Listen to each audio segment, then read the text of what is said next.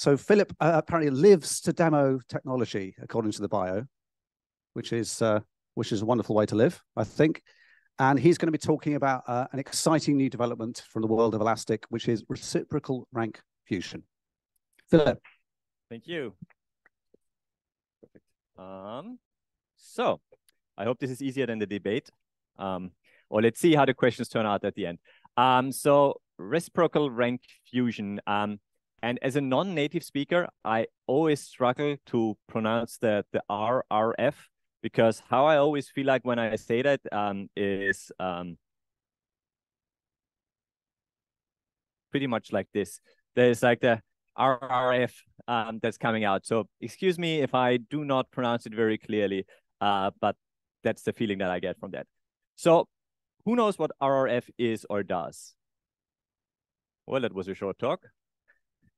Um, no, since not everybody raised their hand, I think we can uh, dive a little deeper. Um, those who already know, um, I hope I'm not boring you too much. Uh, let's see. So we've done the introduction, so I'll skip over that. So the the general problem that we have is um, we have, let's assume we have hybrid search and we want to combine multiple search techniques and we need to somehow combine them into a meaningful final result. How do we do that? And then oftentimes the, the thing people want to do is, uh, is to normalize scores. Who has had bad experiences trying to normalize scores in the past? That's quite a few. Um, that also leads me to one of my favorite pages from from Solr, uh, which is the scores as percentages page. I'm not sure if you're familiar with for a long time to come up with scores as percentages um, and say something is a 100% match and something is a 50% match.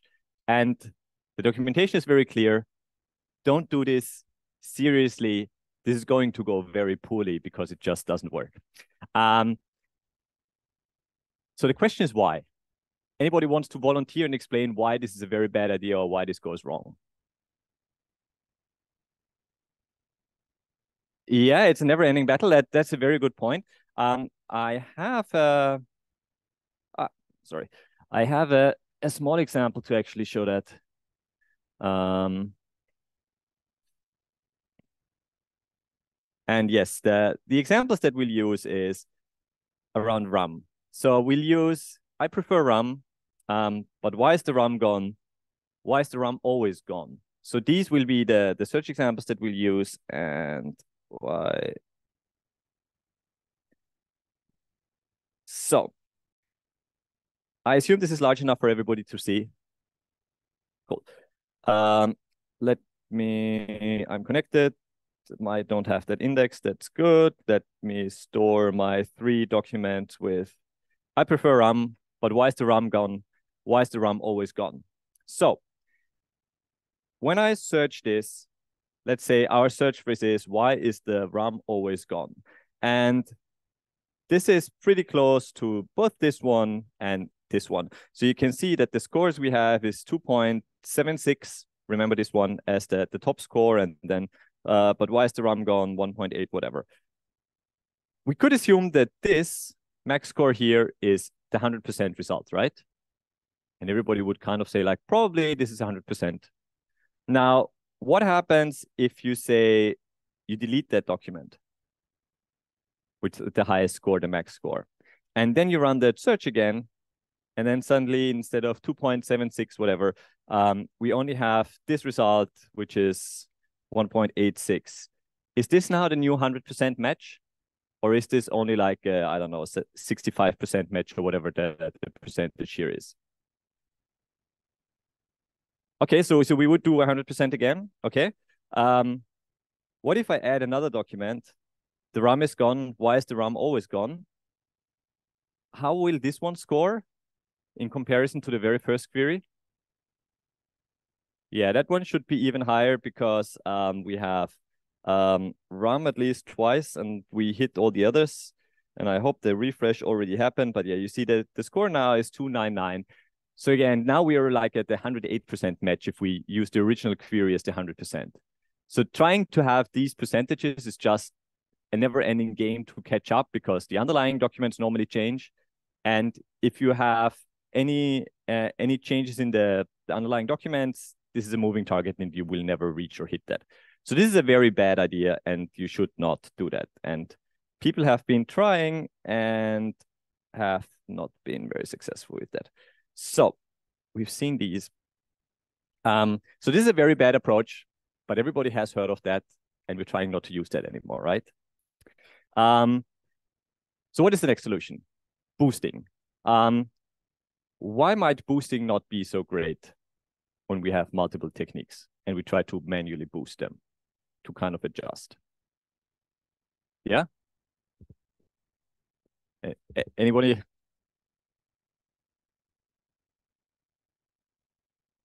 Yeah. So in the end, depending on the, the queries and the data set that you have, maybe you have some experience at some point and know that this is approximately where my scores will be, maybe until they totally change again. Um, but then it's more experience based and based on the data set and queries that you have been running. And it's a moving target and it's not very accurate. Um, and as the pirates would say, um, it's more like a guideline than an actual rule of how to do that with boosting. Um, so you could put it together like that, but that's probably not the, the best approach. So another approach that is relatively simple would be max min scale. Um, you basically take the score of each technique, um, just put it from into a range of zero to one and adjust it like that. Simplistic, but potentially oversimplistic and doesn't get you the full value of how you could get across techniques. Um, and that leads us to RRF. Um, the original paper, I think, is from 2009. Um, where they describe how reciprocal rank fusion outperforms, uh, however you pronounce this, and individual rank learning methods. Um, and this is a great paper because it has only two pages. So this is a paper that even I could read. Um, and that was relatively easy to understand. Um, and I think that's part of why uh, RRF is getting popular because it's one that is relatively easy to follow along. So how does RRF work or behave? Um, first off, we generate the ranking for each technique that we are using. So we run our keyword search, we run our vector search, we run our text expansion or whatever else we have, um, or any combination of these. It could be two different keyword searches that we want to, to combine. Whatever we want to combine the different techniques, we do run those. The second step is we calculate the reciprocal rank. So within one technique, we take the first ranked item. Everything is index based one here and not zero for a change. Um, so we take the first one and it's one divided by one. The second one would have the rank one divided by two, the third one one divided by three, etc. So you basically rank or have this reciprocal rank within each technique, uh, one divided by the position where it is sitting at. Um, there's an optional extension that is not in the original paper that you could weigh the, the different ranking techniques. So for example, if you're more confident in one specific um, technique, for example, you want to rank your keyword search higher than your vector search or the other way around, um, you could include that weight uh, per method um, and just adjust that. And then if you throw all of that together, um, you sum the weights of the different reciprocal ranks for each item. Normally, those would be documents, but it doesn't have to be documents. This works for any type of item or list that you have.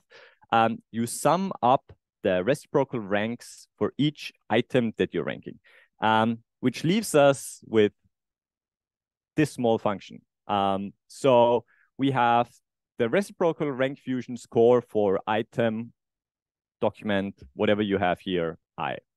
And then we have the number of rankings is J, which goes from one to the number of rankings. So for example, if you have two, you will have a sum of two different pieces.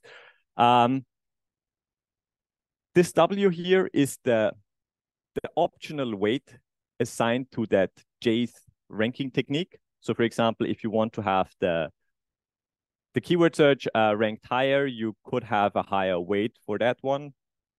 But again, this is optional and not part of the original paper. And then you multiply that. I'll just try to stop moving.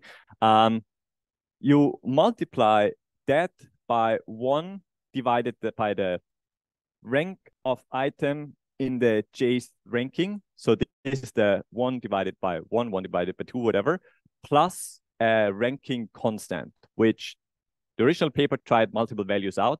Um, they default to 60 because they said that this is approximately the, the optimal value that they found. Um, and in the paper, you can kind of like see a distribution of how they, they found that. Um, two things for that. First, um, selecting that K value.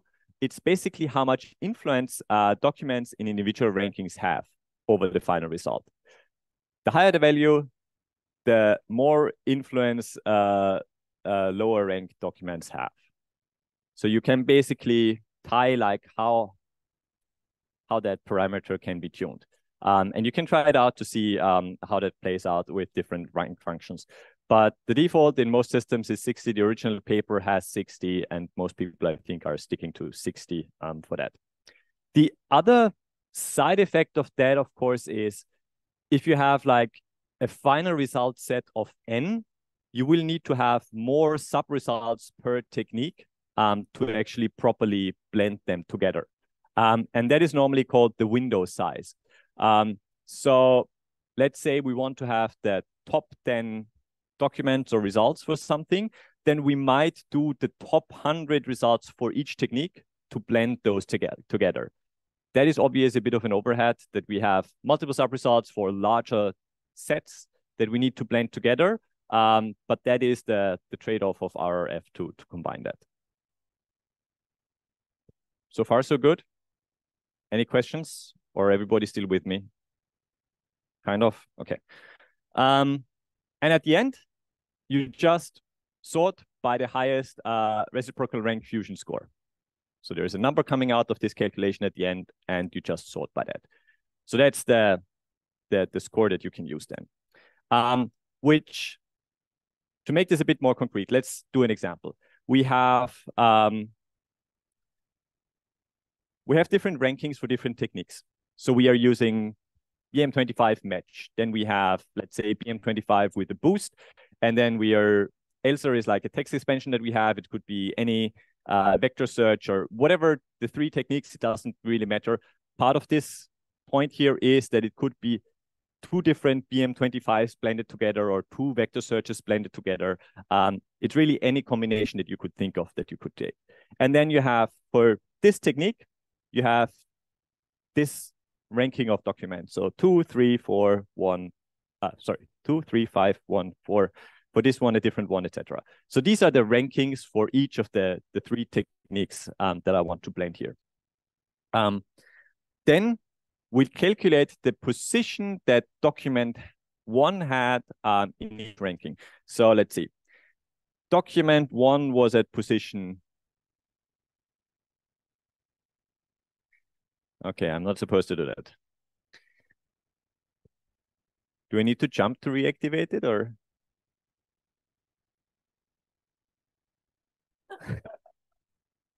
okay.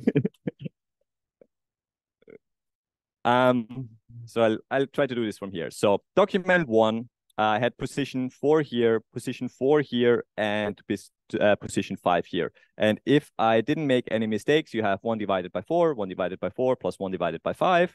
And if I calculated that correctly, it's 0 0.7. And then you do the same thing for all the other documents that you have in your ranking. Um, you get the sums out, you take the highest or you sort by that sum, and that's the, the position in the final blended result that you have. That's all there is to RRF. So far, so simple. Um, it's, I think we generally use the term blended. It's not normalized because we don't normalize the scores across the different uh, methods, but it's really blending the, the position within each working together. Um, that's kind of like the main gist of that. It also has a couple of nice um, advantages. Um, it does not require any training.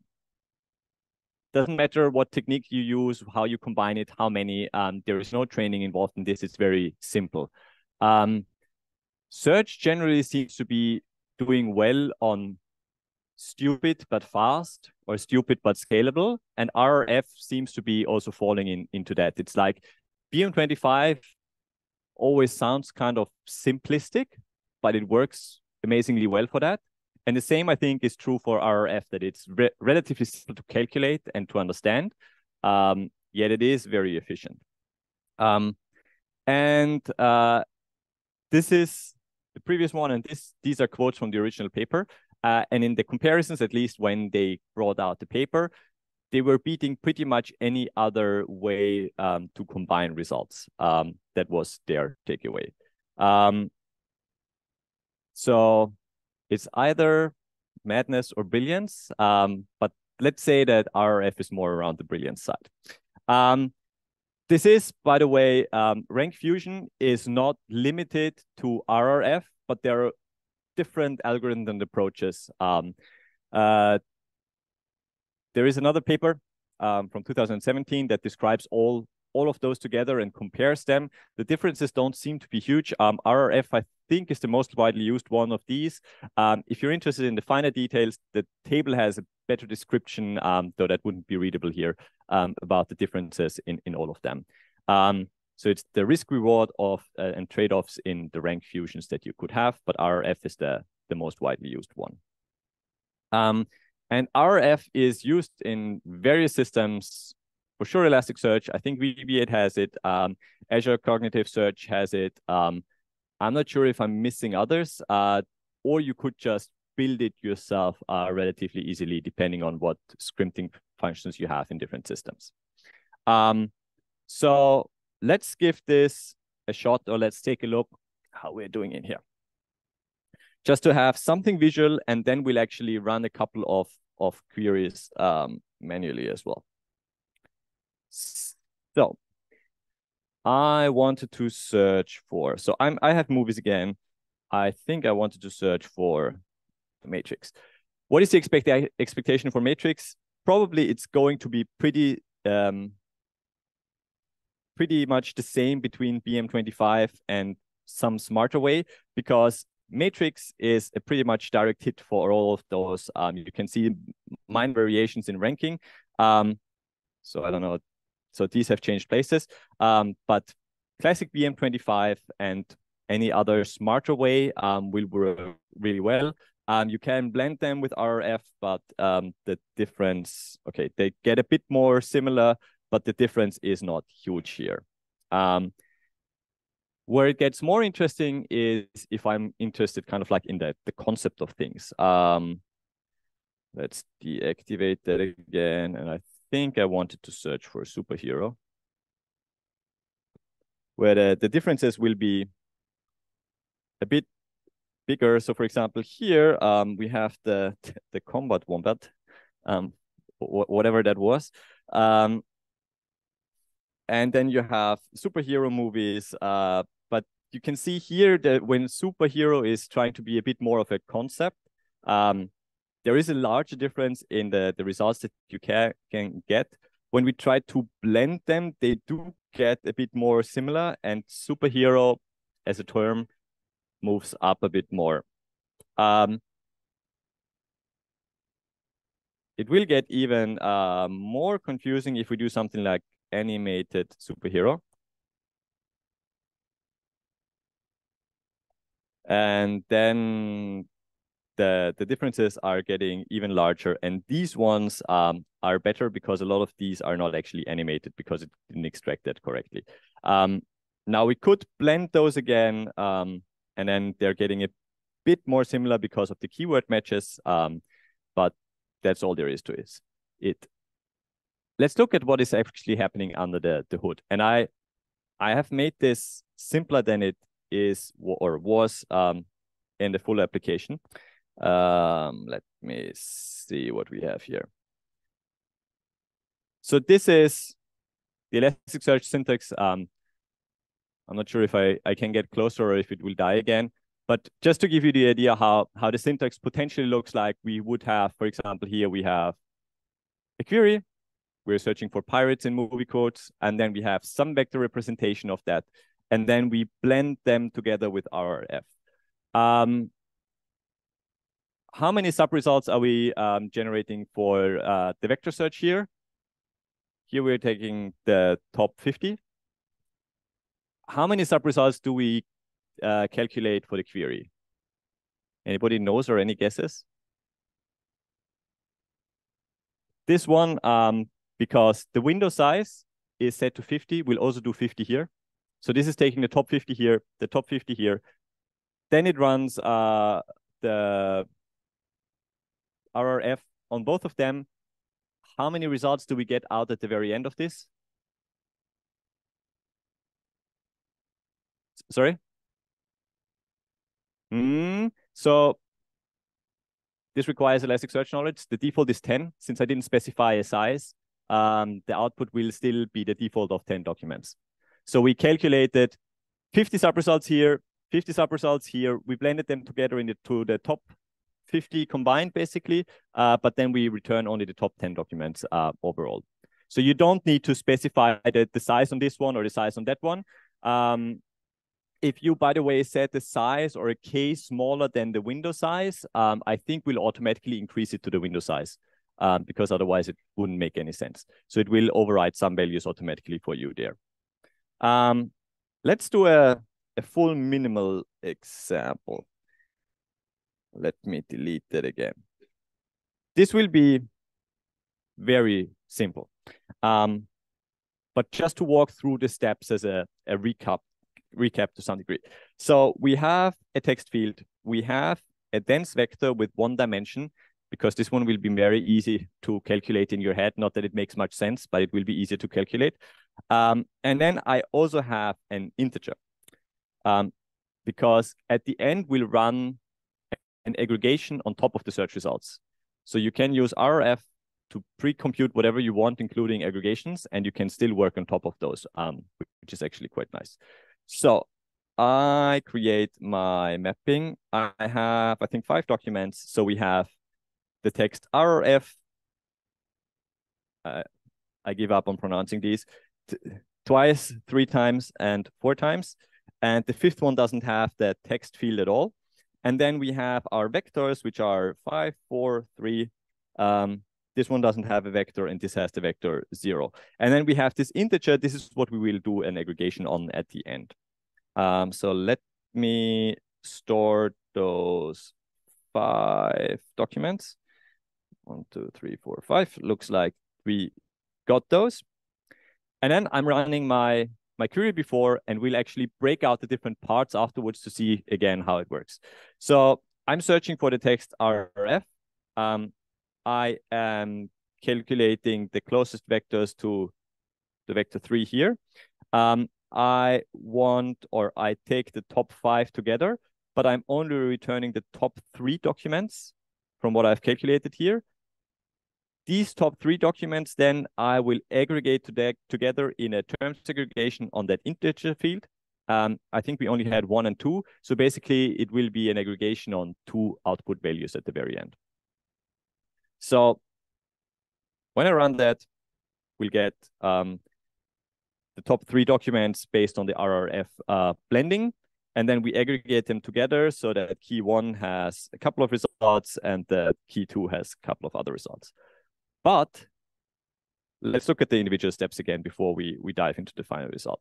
So first off, we run the just a search for RRF.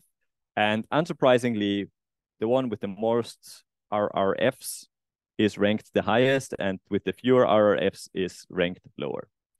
If we do the vector search, and we are using or looking for the vector three, one-dimensional vectors are almost weird, but um, you can see that the vector three is the closest one. Um, then we have four, um, five, uh, and then zero. So these are the closest vectors. So how these are combined, and let me hide this one again. What we got here is for the document one, um, for the query, uh, we got uh, uh, one divided by one plus four because we had, or let me run this here again. So we have the rank constant that we set to one here, that's where this one one plus is coming from. Um, one other thing that I have failed to mention here, um, the max score is null. Does that make sense for everybody? Or are you surprised that the max score is null? So we we have the scores for the individual techniques, but since we only have the ranking afterwards, there is no score anymore. It's only ranked according to the, the kind of like the final sum that we calculate, but there is no score anymore. That's why the, the score will always be, be null. So for every every result that you have when you blend it with RRF, the score will be null. That is one thing that keeps throwing off people or um, cause confusion. It will just be um, sorted correctly based on how RRF calculates the outputs. Yeah?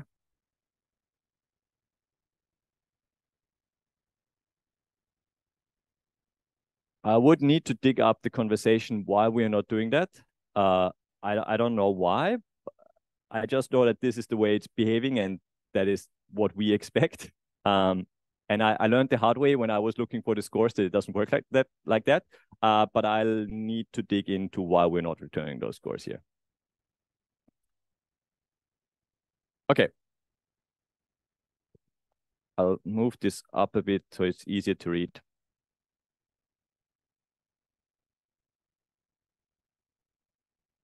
Yeah, this it is what the, the that is default 60. We just added or made it one here to make the calculation even easier. Um, and based on based on that, the K value, you can basically push like higher or lower values um, up or down, depending on from one technique, how much influence one lower ranking from one technique has. That's kind of like the key of how to influence that. Yeah. So the this was the final calculation. These are the scores. These are how they, they are sorted and calculated. This part is clear, or should I go into that again? It's clear? Good. Okay, cool. So that was kind of like how RF worked. That the one plus was the K, and then it's the, the rank for each individual metric. Then we calculate the score, we sort by the score, we're done. So so much for RF. So um, there's probably the point where everybody is like Parley from RRF, and we've had enough of that. Um, so let's um, wrap that up. Why is RRF great? It gives you good results. We can always argue like how good, but relatively good in comparison to other methods. Um, it is easy to understand and calculate uh, and scales pretty well. And it does not need any tuning for the searches that you have or the data that you have. So it is just working out of the box without much magic. Um, before I go, I wanted to show you um, one more thing because I found it pretty cool. Um, has anybody seen RankQuest from Jill? He, he's based in Berlin. Unfortunately, he couldn't make it. Um, he showed it last week at the Elastic Meetup uh, here in Berlin for the first time. Um, just to give you a quick idea, because this is basically once once you start working with ranking, you want to check out how well stuff uh, scores. It works with Elasticsearch um, or any REST API, which is pretty cool. And it has demo content loaded in here. Um, so for example, it could add movies. I can use that movie database. I can define my search. For example, I've yeah, I think I've searched for pirates before here. Um, and let's say we want to have the the top 10 ones. Um, we search for that. I add this as a test case. In my test cases, then I have these two queries, um, and I can look at the results for these. I could change the ranking like this is expected or not expected. And then it has metrics built in to run against these test cases to tell you how well you're doing on different precision and recall values not really re related to RRF, but as you're tuning your search results, you probably want a tool like this. And I just because it came out very recently and I found it pretty cool, I wanted to quickly show it here. Uh, so for example, here, um, it shows you for position at K, um, the rating that you have defined in the search case um, is calculated, and then it tells you how well you're doing at the different uh, calculations, and you could add your own as well. And this is just using local storage. You can then back it up into code and put it in a GitHub repository or in a Git repository because it just spits out JSON files and then you can carry it around like that. Um, it's very new, um, but I I think that this was actually pretty cool and helpful once you try to dive into um, the scoring like RRF. And with that, questions. Should I repeat them or you will repeat them? Firstly, I think a round of applause for Philipp. So uh, thank you, Philipp. Yeah, we're going to go to questions. We have quite a few online, but I'm just going to come to some of the people who, uh, you, sir, because you had a question. Uh, so there is a, a, debate in the industry whether um, uh, filtering before uh, vector uh, search or filtering after vector search. And you introduce um, another method that uh, goes both way in uh, parallel and then merging the result. Uh, can you say a few words related to the other methods? The things that we have been doing there. So, and do you support the other methods? I mean, we you, you have the So I think for performance, you probably want pre-filtering um, to exclude things uh, beforehand. Um, there was a discussion about correctness that you might filter out things um, too early, and then your result set, like your your users are, are looking for the top 10 results, uh, but you filter too early, and then it's kind of like mapping to the, the same results, and then you get just five out that might be very confusing for your users and, and unexpected. Um, so I think depending on where you filter, um, and I think that was specifically related to chunking, for example, where how early we do the filtering, um, that that it might affect the correctness for that. Does that kind of answer the question?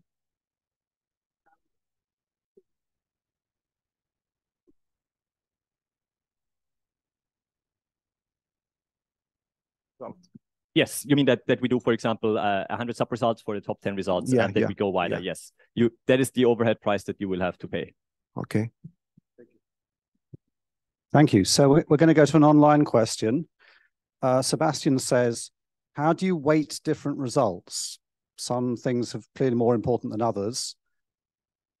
I'm not quite sure I understand the question myself, but I mean, maybe if one algorithm is is more important than the other. There was this optional weighing, though I don't think we support that today.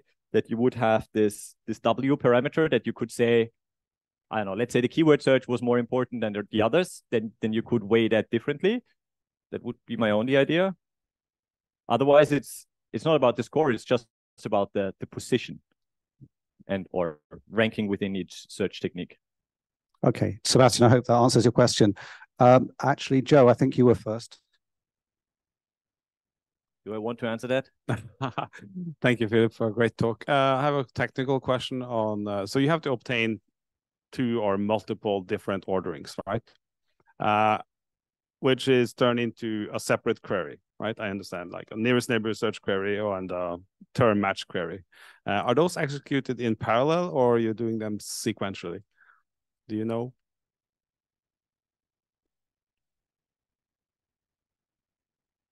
I so my hope is that we do parallelize them since by now K even KNN is parallelized, uh, though I am. Let me double check before I say something stupid. Thank you. Okay, uh, we have another question online from Ludo. Um, would we use zero as reciprocal rank if an item is not returned by one of the search methods in its window? Yes. Um, so here it was not in the top N and then it just didn't. You'll have to jump up and down again. So this one didn't make the top three here and here it just didn't exist. I hope that answers the question. Okay, one more from the room. Um, I think, come to this gentleman here. Hi, Phillips. Thank you for the talk. Um, I wanted to ask, uh, so we were running this query against the same index, like uh, query and KNN. is it possible to do it in the same operation to run uh, queries against two different indices, which might include some similar data, um, and then blend it in like not from a single, but from two indices into one set of results? Hmm, I mean, not that I would have tried that, but I guess so. How, how you generally do the Elasticsearch is like um, if you do comma, then you can run this query against multiple indices, or you could even use a wildcard. Um, so if you have a pattern, and then I think it should do the right thing. Though I would need to try that, or you try it out. But this is how I would approach it. Uh, so you can either provide a list or a wildcard, and then that should run against different ones. And maybe if you have, for example, a, a filter in different conditions, it could come from different indices. Um, or maybe the, the data is just uh, there in different indices, and you will not have a match from every index anyway, and then you will blend from different indices together.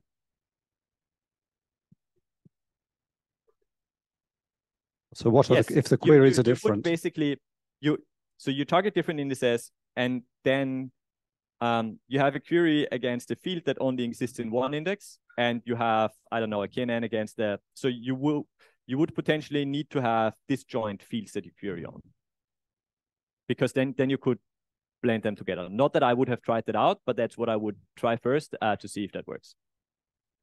almost sounds like a, a meta search. Um, interesting. Okay, so we're going to have one more question from the uh, online.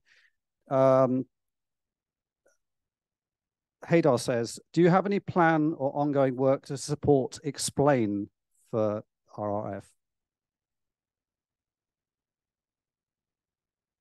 So I, I always want to say I'm sure there's a GitHub issue, but we have a lot of GitHub issues, um, um, which is not much of an answer. Um, if there is none, please open one. Um, yes, we should. I I can't swear on it, but I thought I I've seen a discussion on that actually. Um, so I I think there is one, um, but we might want to double check. Um, but we have today. I don't know. We we we can check.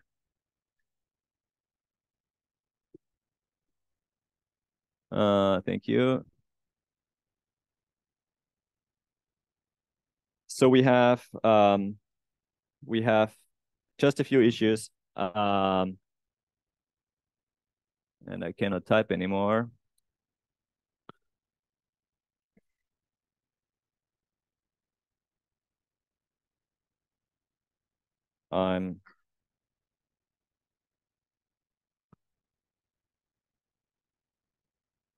Okay, so this no, that I think we'll need to open another one. So Okay. we will get to 4,000 issues or so, but um, no guarantees when they get resolved though. Okay, we're going to close it there. There's been a lot of questions. There's a lot of questions online, but Philipp will, will be around and you can always tomorrow. ask on uh, relevant Slack, of course, where he's uh, very active. So thank you again, Philipp Krenn. Thanks a lot.